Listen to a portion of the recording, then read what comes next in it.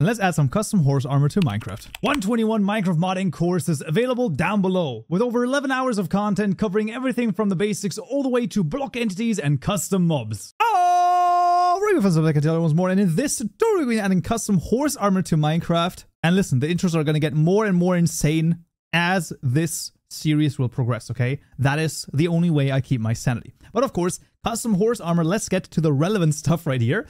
And custom horse armor is actually more straightforward than you might think. However, a few things change. Due to the fact that in 121, wolf armor was introduced, they now have a new class called animal armor, so it's a little bit more generic. But let's just see. In our mod items class, we're going to add a public static final registry object, crazily enough, of type item, and this is going to be our Alexandrite underscore Alexandrite underscore horse underscore armor equal to the items dot register method. There we go. And the name, of course, is also Alexandrite underscore horse underscore armor. With the second parameter being a supplier of a new, and this is it, an animal armor item. First passing in mod armor materials dot Alexandrite armor material.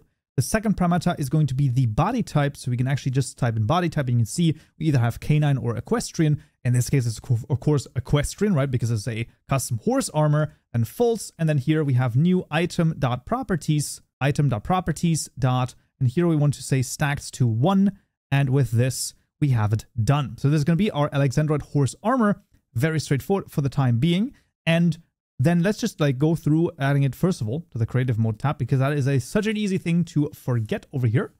And we can add a translation. I mean, really nothing too spectacular when it comes to the item texture. Well, the item texture is obviously, well, probably one of the easier things. However, then it comes back to the texture for the actual model. And that is in textures. And then we make a new directory called entity. Into there, another new directory called horse inside of there another new directory called armor. And once again, making sure this is the American spelling. And inside of there, we want the horse underscore armor underscore alexandrite.png.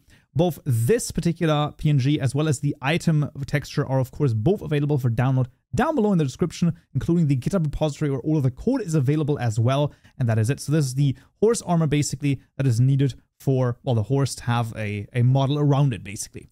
And last but certainly not least, we can also add the data gen for the item model. That is going to be as easy as simply having a, uh, this is a basic item. This is a basic item again, crazily enough. This is just going to be the horse armor right here, and that is it. I believe this should pretty much be everything we need. Like I said, there's not too crazy of a difference over here. We're now just using the animal armor item as opposed to the, well, the horse armor item that we had before. And so let's run the data over here and once that is through, we have the JSON file generated for our item. And once that is through, we can jump into the game and see if it works. All right, fans, I'm back in Minecraft. You can see I already tamed myself a horse right here. And what I can do is, well, I can either, you know, open the inventory or I can also just right click it and you can see there we freaking go. We have an animal or rather a horse, right? A neigh with custom horse armor. How freaking cool is that?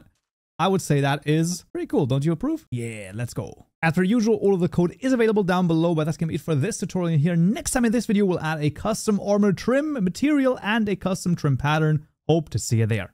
So, yeah.